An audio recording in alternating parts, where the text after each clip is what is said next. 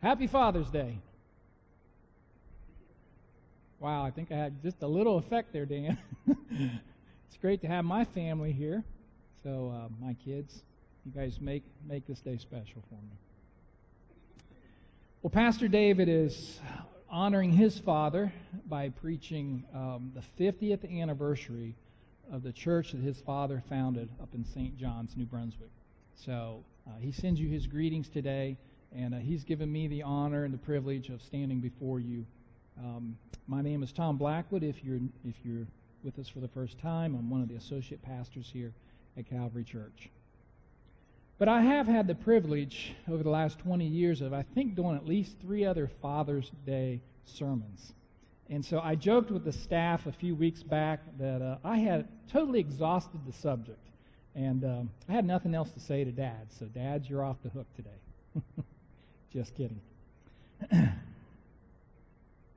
but seriously, I, I, didn't want to be held captive to the holiday because I had it in, in the back of my mind to preach on the woman with the issue of blood.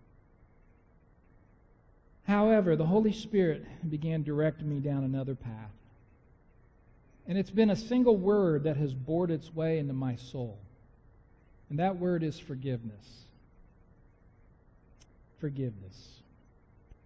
And it started three weeks ago while I was on a cruise with my lovely bride, Kenda, and dear friends, Greg and Linda Fisher. Both of us were celebrating a belated 25th uh, wedding anniversary. And if you've ever been on a cruise before, you know it doesn't take long to realize there are a lot of couples on the love boat celebrating their anniversaries. You see these all down the hallway. And we ran into some couples that were celebrating their golden anniversary 50 years.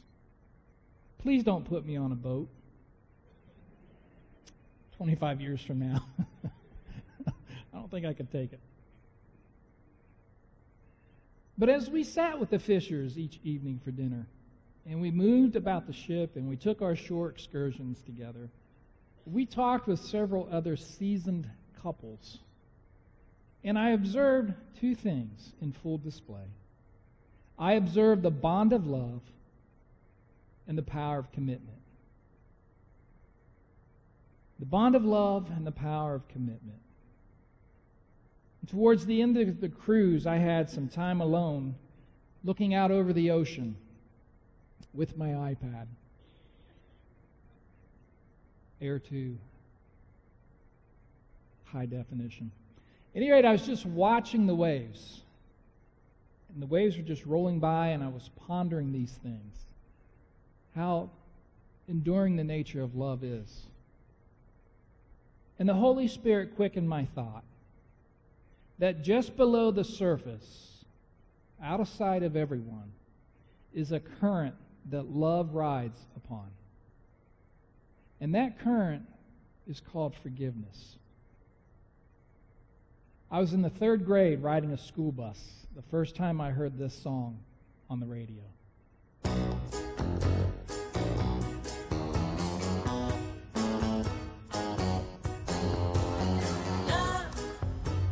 You can sing it.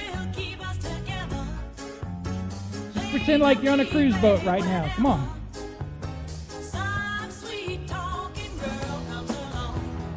Singing a song. Don't mess around, you just gotta be strong. Just stop, cause I really love you. Stop, I'm thinking of you. Look in my heart and let love. Whatever. That's right, all right. Give yourselves a hand. you know, it may be love that draws us together, but it truly is forgiveness that keeps us together. For when forgiveness abounds, love thrives.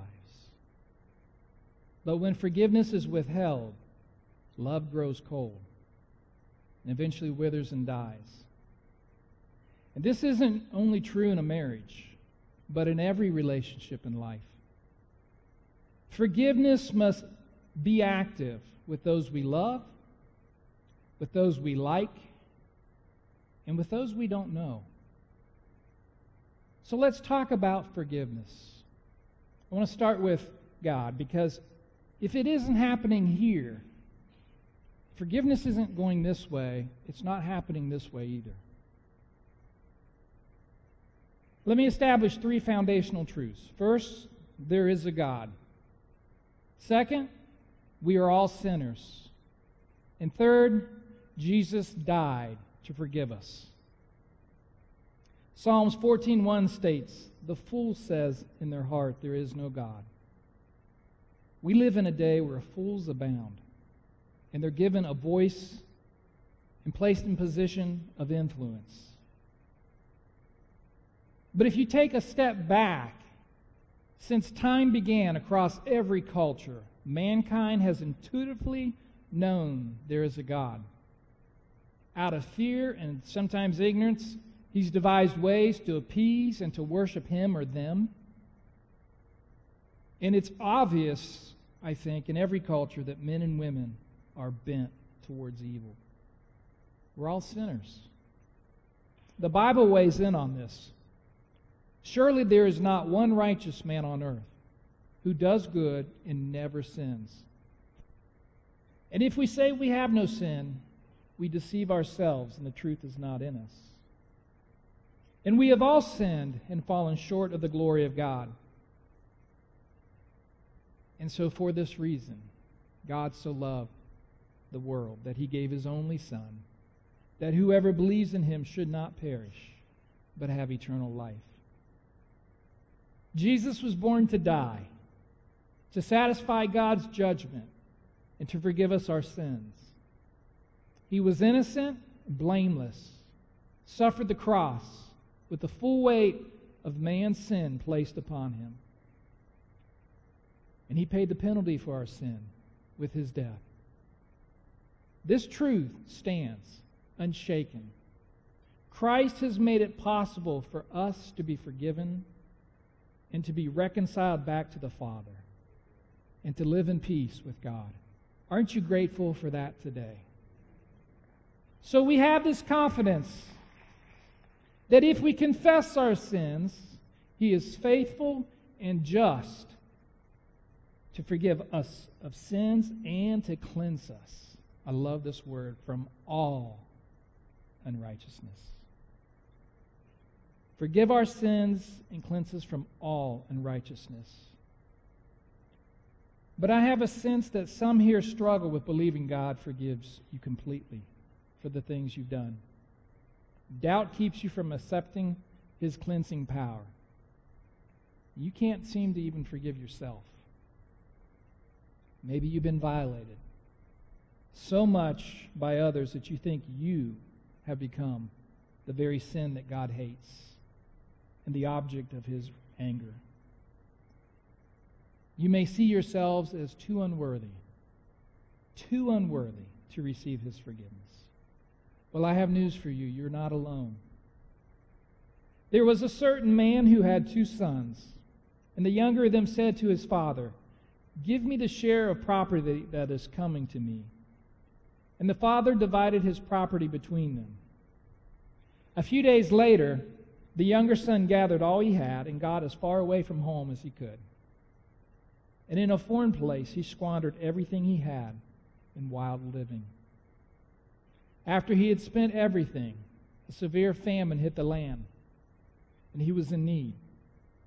He became a hired hand to take care of pigs where he would hunger to eat the husk, he was feeding them. And the Bible says, No one, no one, but no one gave him anything. In desperation, he came to his senses and said, How many of my father's hired servants have more than enough bread while I die here of hunger? I will get up and go to my father. And I will say to him, Father, I have sinned against heaven before you I am no longer worthy to be called your son. Treat me as one of your hired servants. And he got up and he went to his father. This man felt so unworthy. all he could see is what he had done. Not only what he had done, but what he had become.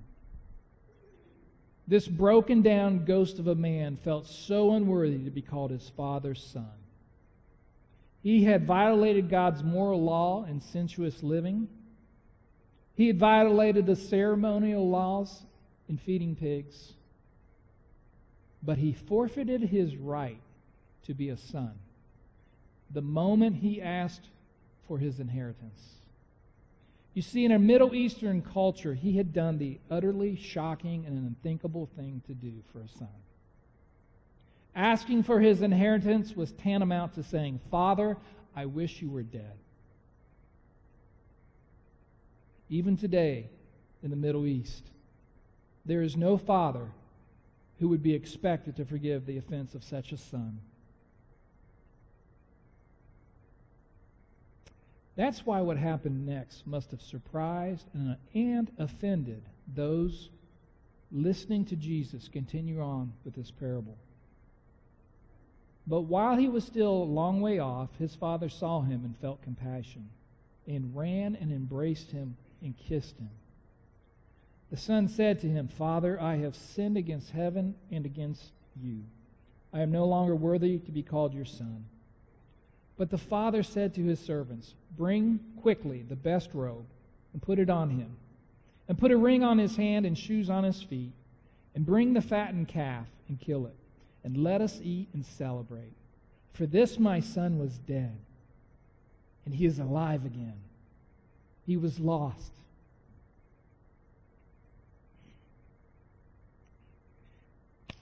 And he's found. And the Bible says, and they began to celebrate. Jesus told this parable in response to those who were criticizing him for sitting down with sinners and sharing a meal. But Jesus' goal was not to silence his critics. That wasn't his goal in telling this parable. He was seizing on this opportunity they had afforded him to communicate the depth of God's forgiveness to those he ate with around the table. Jesus didn't tell this parable for the benefit of his critics, but for those that he was eating with. Time won't permit, permit me to explain in detail all that it means to sit at a table and to share a meal in the Middle Eastern culture. Could do a whole series just on the significance of the table. Even to this day, the table is a place of worship, a place of covenant, a place of protection, a place of peace, a place of forgiveness and reconciliation and celebration. Unfortunately, our culture doesn't practice hospitality like this. So we lack the understanding and the appreciation for the dynamics taking place whenever we see Jesus sitting at a table. Let me give you an example going all the way back to Genesis, where two parties come together to make a peace covenant. There's always a ritual meal that's prepared, and afterward, neither party can bring up the grievance again. You remember the story of, Laban, of Jacob and his father in law Laban?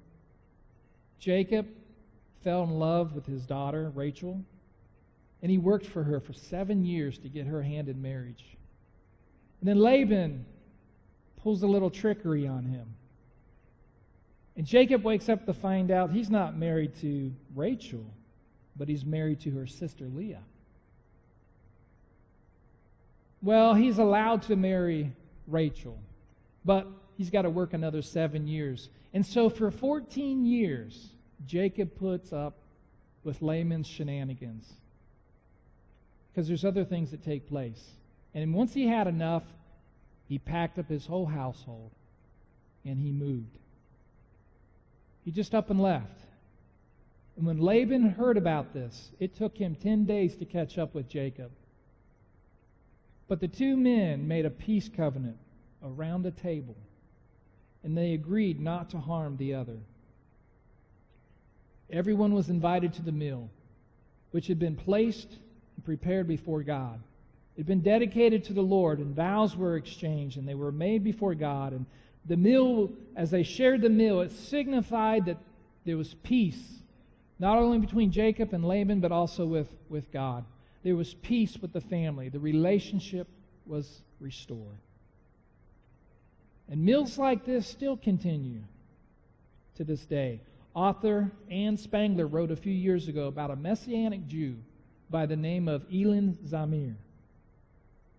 Ilan was driving through an Arab village in Israel when a 13 year old Palestinian boy ran out in front of him. He slammed on his brakes and he laid on the horn, but it was all too late. He struck and killed the teenager. Ilan later learned that the teen had, was deaf. That's why he didn't hear the horn. And this haunted him. It was such a tragedy. And Ilan sought, he was determined he was going to seek the family's forgiveness. Friends thought he was crazy. One even warned him, saying, Man, that's dangerous what you want to do. You can get into serious trouble. You're an Israeli Jew, and the people you want to meet are Arabs on the West Bank. You see, according to Arab tradition, the family could kill Ilan as vengeance for their son's death. But an Arab pastor intervened, and he suggested arranging a meal of reconciliation. I want you to listen to Ilan as he describes what happened when he sat down with the boy's family at the ceremonial meal. The cups of coffee remained on the table untouched. According to tradition, the father would be the first to taste from the cup as a sign that he had accepted the reconciliation gesture and had indeed agreed to forgive. The tension in his face had cast a shadow on the proceedings until then. But at that point, he suddenly began to smile. The lines of grief softened. He looked at me squarely, and his smile broadened as he moved towards me, opening his arms in a gesture of embrace. As we met and embraced, he kissed me ceremonially three times on the cheeks. Everyone began shaking hands with one another as the father sipped his coffee. The whole atmosphere was transformed. The tension at the end.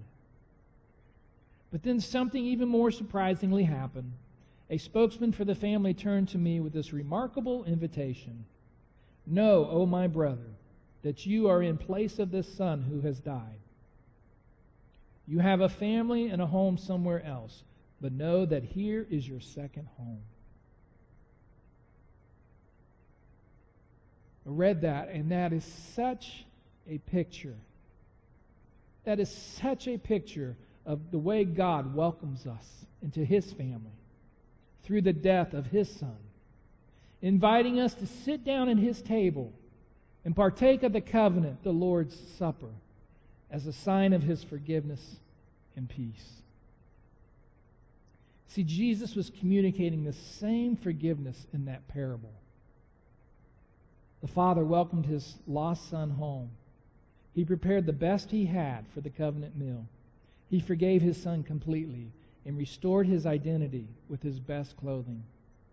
The fattened calf was sacrificed with thanksgiving, and the meal signified that his son was reconciled once again to the family, and all grievances were forgotten. I want to speak to those who feel unworthy of God's forgiveness. Our Heavenly Father has already sacrificed the Lamb of God, the best that He had. And He longs for you to come home. He runs to you with arms open wide, full of compassion just at the sight of you. He has a robe of righteousness for which He will cover you. He has a new identity for you in Christ. And He bids you come to His table and be restored to His family. There's forgiveness there. There's forgiveness for your sins. And the Bible says He takes our sins from us and He removes them into His sea of forgetfulness.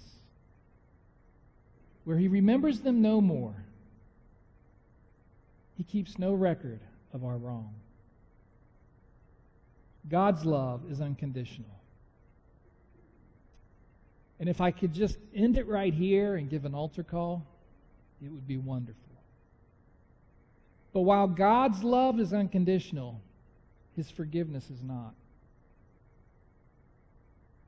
His forgiveness comes with one string attached, just one. We must forgive one another.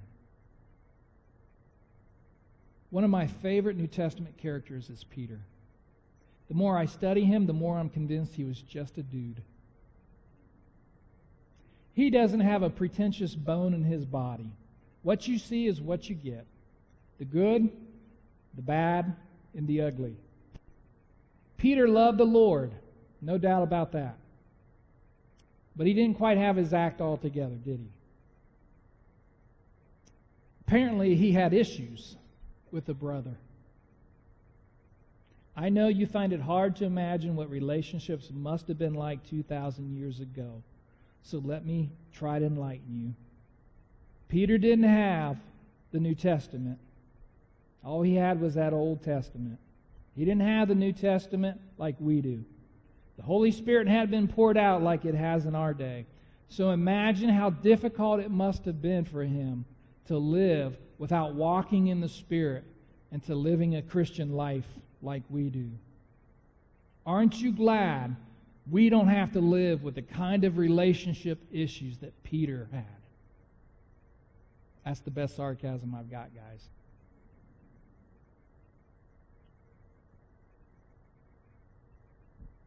It was no different in Peter's day than it is today.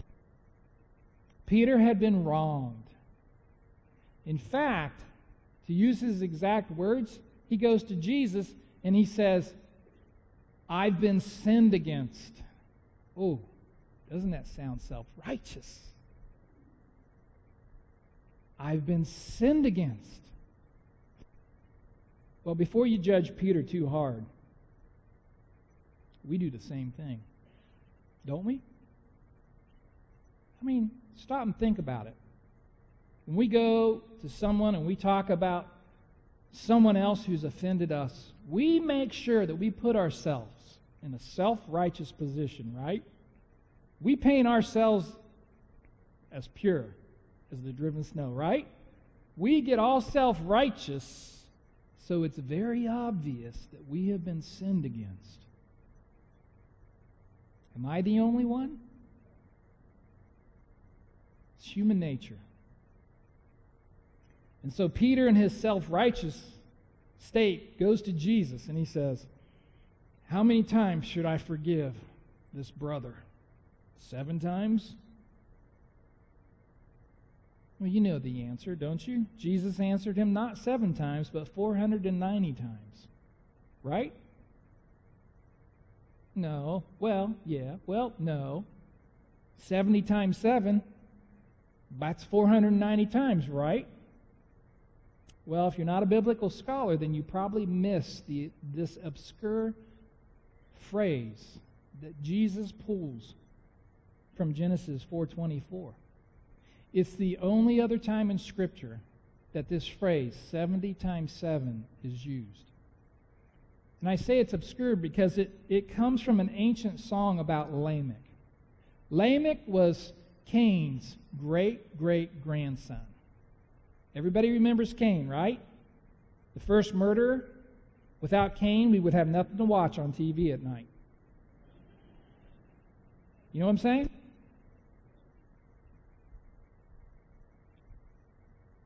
This great great grandson Lamech followed in his footsteps with a bloodlust for murder and revenge. And listen to this verse from this song.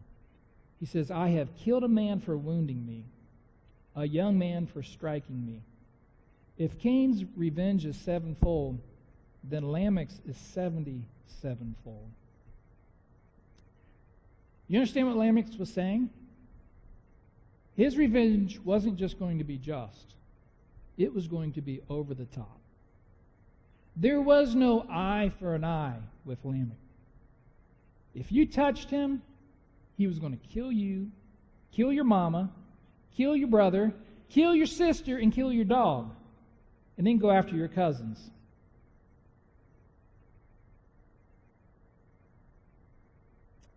Seven is a significant number in Scripture. Seven represents, symbolizes completeness. Lamech's lust for revenge went so far beyond being complete. He wasn't satisfied with seven times.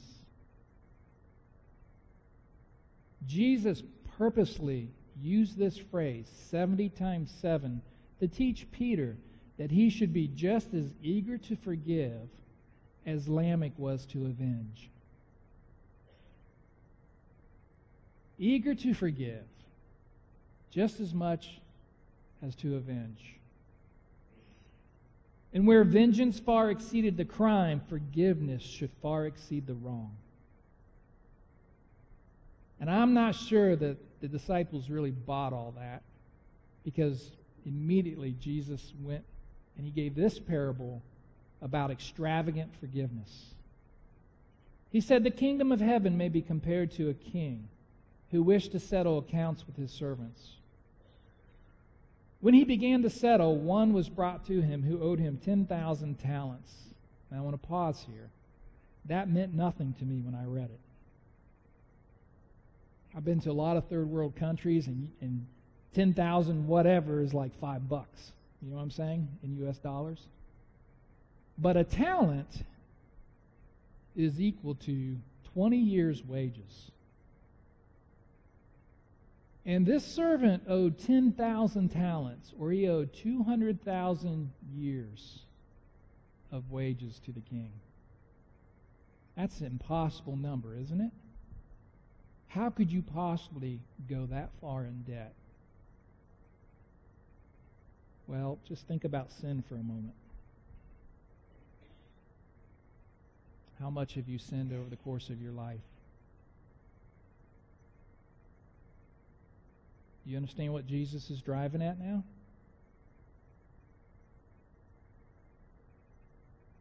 And since he could not pay, his master ordered him to be sold with his wife and children, and that all he had and payment be made. So the servant fell on his knees, imploring him, Have patience with me. I will repay everything. Really? Bill Gates, maybe. Really? I will repay everything? Have you ever come before God and made a deal, tried to deal with God? I'll be good. I'll be God. I won't ever. I won't. Really? I won't sin again.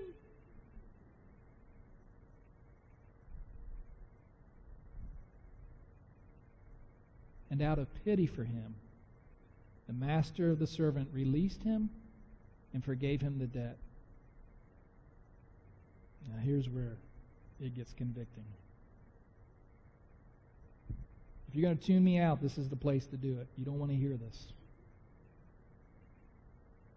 But when that same servant went out, he found one of his fellow servants who owed him a hundred denarii.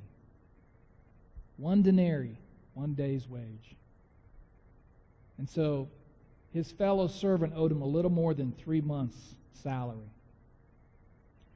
And seizing him, he began to choke him, saying, Pay what you owe. So his fellow servant fell down and pleaded with him, Have patience with me. I will pay, I will pay you. He refused and went and put him in prison until he should pay the debt. When his fellow servants saw what had, ha- taken place, they were greatly distressed, and they went and reported it to their master, all that had taken place. Then his master summoned him and said, You wicked servant, I forgave you all that debt because you pleaded with me. And should not you have had mercy on your fellow servant as I had mercy on you? And in anger, his master delivered him to the jailers until he should pay all his debt. So also my heavenly Father will do to every one of you if you do not forgive your brother from your heart. Jesus didn't mince any words, did he?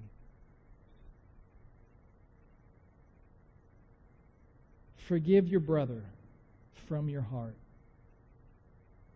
Forgive your sister. Forgive your father.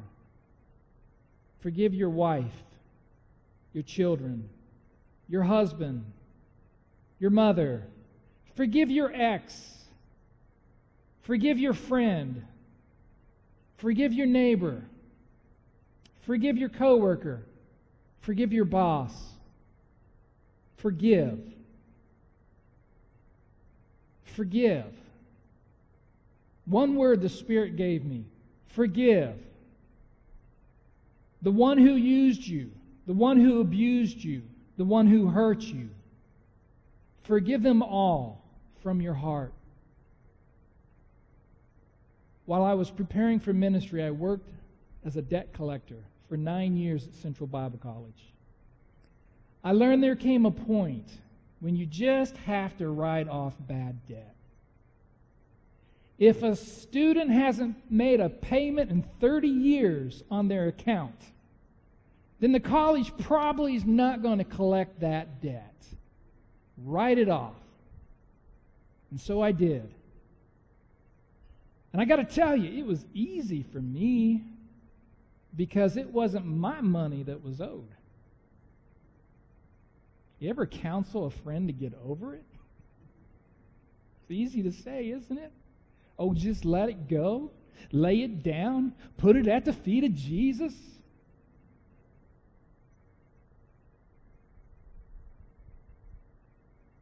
Several years ago, I helped a brother out. He was in a financial bind. He couldn't pay me back, but he could do some repairs around my house. The first thing he did was fix a leak on the second floor. He wasn't a plumber, but he stopped the leak. The only problem was that's all he did. He never came back to finish the job. He wouldn't return my calls. He literally up and moved out of state. Moved across the country, leaving me with a big hole in the ceiling with plumbing and electrical wires exposed. So I paid another brother to come and sheetrock the hole and paint the ceiling.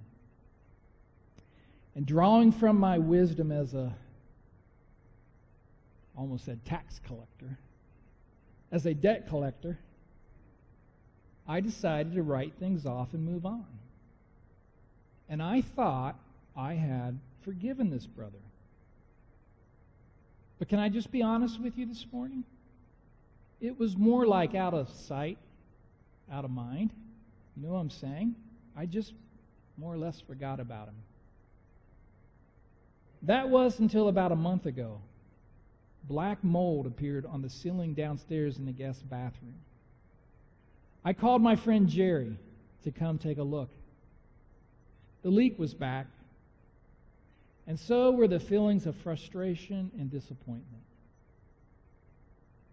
And I'm ashamed to say, I grumbled about this brother to Jerry.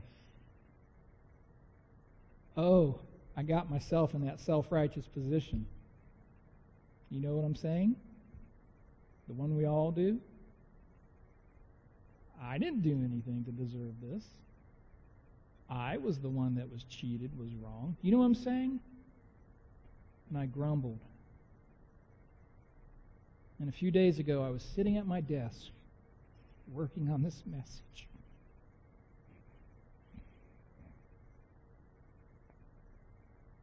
And the Holy Spirit convicted me that I had not completely forgiven my brother from my heart. I still harbored unforgiveness right here.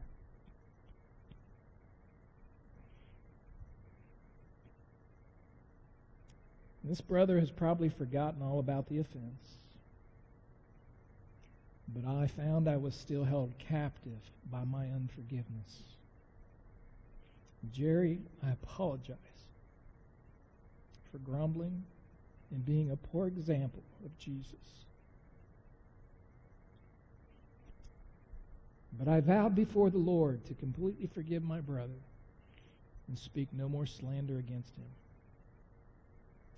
For hasn't the Lord forgiven me so much more?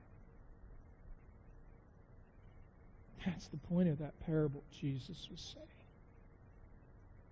How can you hold an offense against a brother in light of how much God has forgiven you?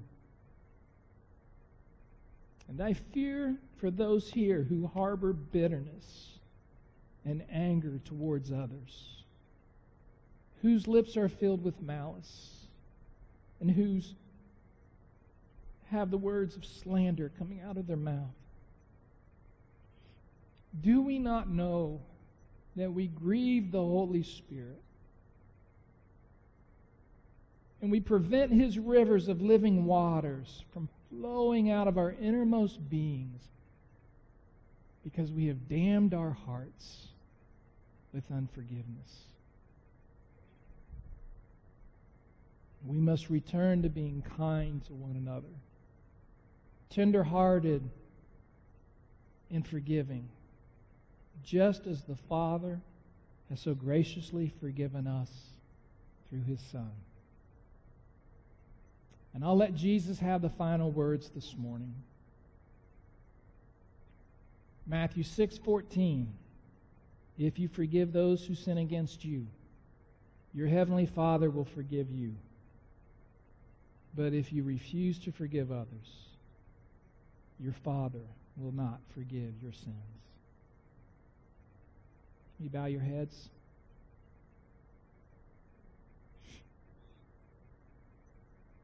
Lord, we just bow before you in a moment of silence. And we invite the Holy Spirit to come search our hearts, to see if there's any wicked way in us, any root of bitterness, any malice. Search us, O oh God.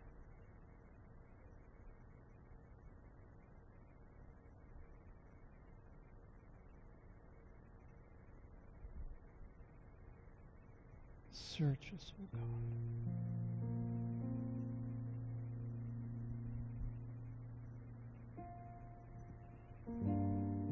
In a moment, the altars will be open. And I'm going to ask that our elders and our wives at that time make their way to pray for anyone here for anything. Any need that you have of God, we'll stand with you and we'll pray. But I just want to take a moment. My heart burned all week at the thought of somebody coming in here feeling so unworthy, so ashamed. The things that you've done, the things that you've been a part of, they so cloud your vision of the Father. You can't see that He's run towards you this morning. The fact that you're here, He has compassion for you. He longs to embrace you, to clothe you, to take away those filthy rags, to wrap you in His robes of righteousness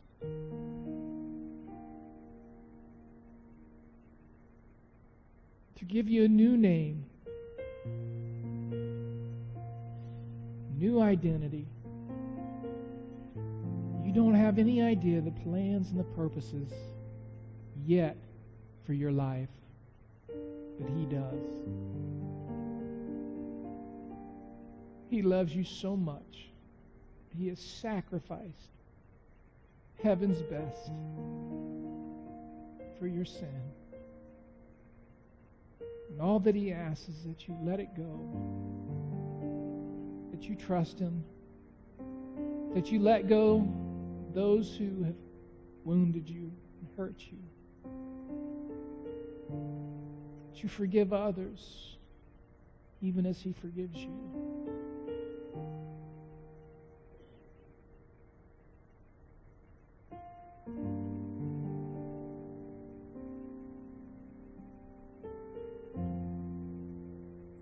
Can lead a person in the sinner's prayer, but I can't.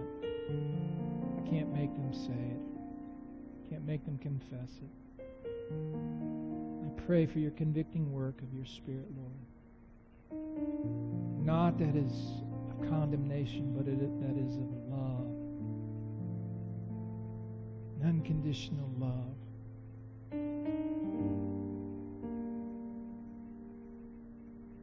For those of us, Lord, who have acted like a wicked servant this week, oh God, forgive us our sins.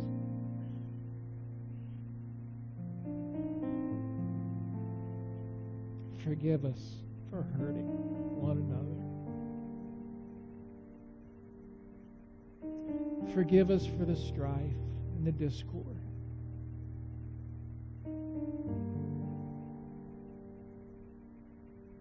Thank you that Calvary is a wonderful place. And as a whole, it's a peaceful place. But Lord, we are like Peter, at times so easily offended, and at times justified in our offense. But Lord, forgiveness. Forgiveness isn't saying right or wrong. Forgiveness is unmerited grace, and mercy, and love all rolled together. And I pray, that's my heart, that we would be that way with one another. Not only in this place, but in our workplace, in our families, Lord. I'm so sick of what's on TV. Seems like no one's forgiving anyone. Bring us back to that place, oh God, where your rivers of living water can flow through us to where we have something to say, we have something to give, we have something to offer the world that is of you.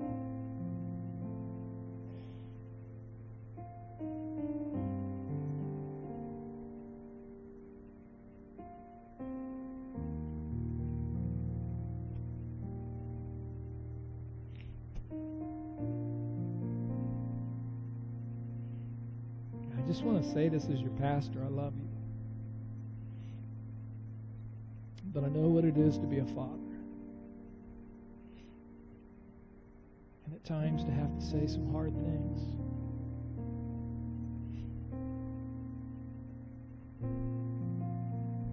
God loves you, friends. He is our Heavenly Father.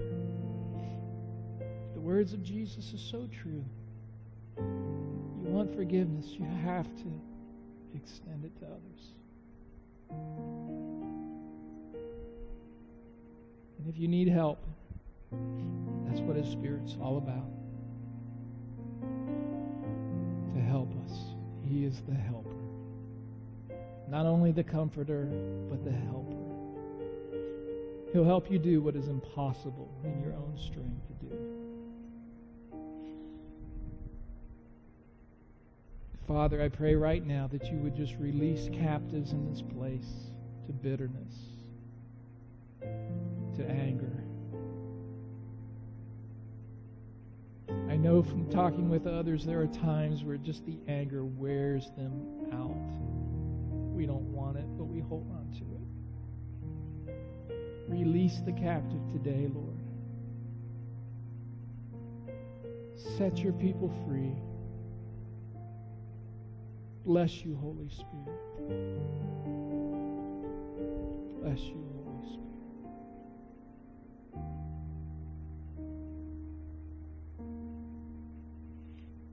Would you please stand with me? We're going to make this a house of prayer.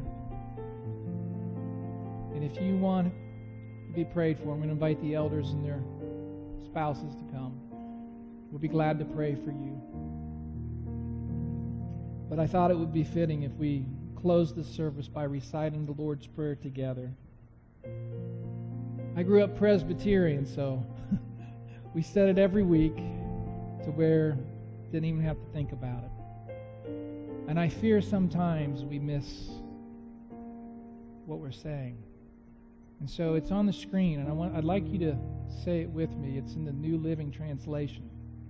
So it'll catch you a little bit keep you from just not even thinking about what you're saying. Repeat with me Our Father in heaven, may your name be kept holy. May your kingdom come soon. May your will be done on earth as it is in heaven. Give us today the food we need and forgive us our sins as we have forgiven those who sin against us. And don't let us yield to temptation, but rescue us from the evil one. Amen. God bless you. We're here to pray with you if you need it. Have a wonderful Father's Day.